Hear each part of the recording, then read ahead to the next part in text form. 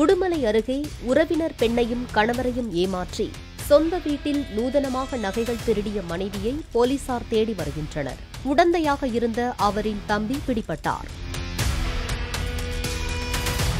திருப்பூர் மாவட்டம் உடுமலை அருகே தேவனூர் புதூரைச் சேர்ந்தவர் கந்தராஜ். இவரது மனைவி லோகேஸ்வரி. இவர்கள் வீட்டிற்கு கந்தராஜுவின் உறவினர் பெண்கள் வந்துள்ளனர். உறவினர் பெண் ஒருவர் அணிந்திருந்த நகைகள் லோகேஸ்வரியை கவர்ந்துள்ளது.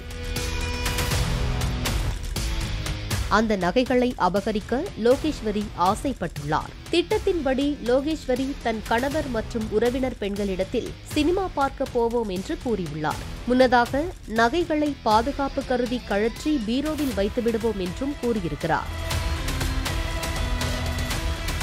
தியேட்டருக்கு சென்ற பின் தனது தம்பி அரவிந்த் குமாரை தொலைபேசியில் தொடர்பு கொண்டு உறவினர்களின் நகைகளை திருடுமாறும் சந்தேகம் வராமல் இருக்க தனது நகைகளையும் சேர்த்து எடுத்துக் கொள்ளுமாறும் மற்றும் வீட்டின் சாவி மற்றும் நகைகள் இருக்கும் இடத்தையும் கூறியுள்ளார். அதேபோன்று தம்பியும் நகைகளை திருடியுள்ளார். சினிமா முடிந்து வீடு திரும்பிய லோகேஸ்வரி நகைகள் திருடு போனது போல அழுது நாடகமாடி கணவரையும் உறவினர்களையும் ஏமாற்றியுள்ளார். இது சம்பந்தமாக தளி காவல் நிலையத்தில் கந்தராஜ் புகார் அளித்தார். வழக்கை விசாரித்த ஆய்வாளர் ராஜகண்ணன் லோகேஸ்வரியின் தம்பி அரவிந்த் குமாரை லேசாக மிரட்டல் தொனியில் விசாரிக்க பயந்து போன அவர் உண்மையை கூறிவிட்டார். இதையடுத்து அரவிந்த் குமாரிடத்தில் இருந்து உறவினர் பெண்ணின் ஏழு பவுன் நகை உட்பட பதினோரு நகைகள் மீட்கப்பட்டன.